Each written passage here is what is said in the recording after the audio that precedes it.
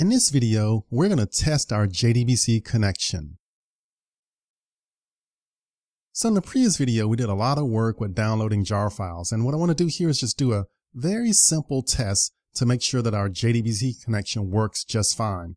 So what we're going to do is create a very simple JDBC program just to test everything out, just to make sure everything works out okay. So what I'd like to do is move into this uh, Hibernate tutorial under the source, and I'll create a new package. So right click, I'll say new package. And the actual name of the package, I'll call it com.luv2code.jdbc. And once you're happy with that package name, go ahead and click on finish. And now what I'd like to do is actually create a new class. So again, right click on that package name. I'll say new class. And the actual name that I'll use for this class, I'll call it test JDBC. Just very simple and to the point. Um, I'll also check the little item here for public static void, just so I can have a main method uh, for this program. And again, hit on finish. All right, great. So we have a very basic program here and uh, let's go ahead and dig in and uh, let's start writing some code. So I'll just set up a very simple uh, try catch block. So I have catch exception exe. I'll do the exe.print stack trace in case something goes wrong. Hopefully not.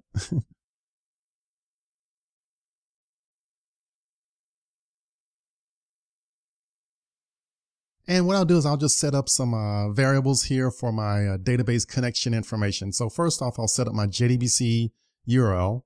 I'll call it JDBC colon MySQL colon localhost 3306 slash. I give the name of our, my database schema, which is HB student tracker.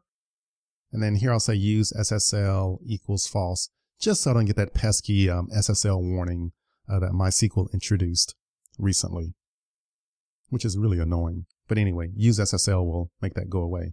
All right. So that's our JDBC URL, um, our user ID that we created. And we did all this stuff in previous slides here. Um, our user is uh, HB student.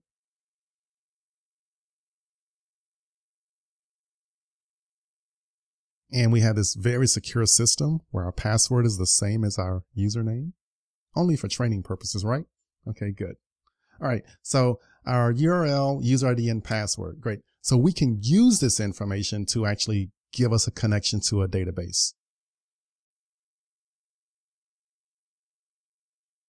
All right. And here I'm just mentioning again that um, use, SS, use SSL is equals false is to get rid of that uh, pesky MySQL SSL warnings. All right, great. So let's go ahead and write some code here. I'm going to make use of my driver manager to uh, get a connection. And I'll also do some system out print lines here to tell, my, tell myself what's going on here. All right, so I'll say system out print line um, connecting to database. And I'll just drop in that JDBC URL. And then I'll attempt to get a connection. Here I'll say connection mycon equals, and then I say driver manager dot get connection. And I pass in uh, my JDBC URL, my user ID, and my password. And if that works out fine, then we have a successful connection. So I can print a statement here saying connection successful. Yahoo! I like to have fun with this stuff. All right. So that's the piece there. Now we need to fix some of our imports here. I can just click on this red X. Uh, we need to do that import on java.sql. So choose the second option here import connection in java.sql. Select that item. And yeah, that takes care of the item there. So we should be good to go here. All right, so just some very basic code here to uh, test out our database connection. All right, so let's go ahead and run this application. So just do a right click, run as Java application. And then it's going to fire up and say connection successful. Let me expand this window here so you can see everything. So connecting to database, connection successful. So this is great. So this is just a confirmation that uh, we have the correct URL, user ID and password.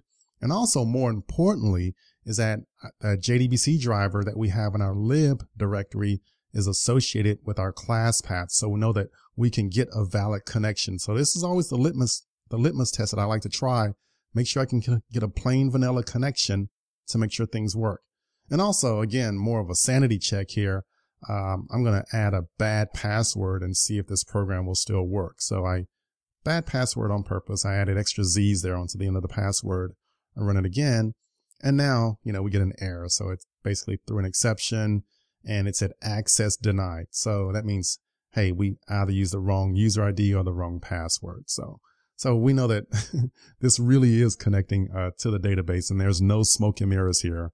Uh, we're making the, a real connection. So anyway, again, everything's configured out just fine and um, we're in good shape. And this sets us up to be able to successfully build out some Hibernate uh, applications. All right, so we'll get into the Hibernate details later on in the next video but we're successful so far. So good job.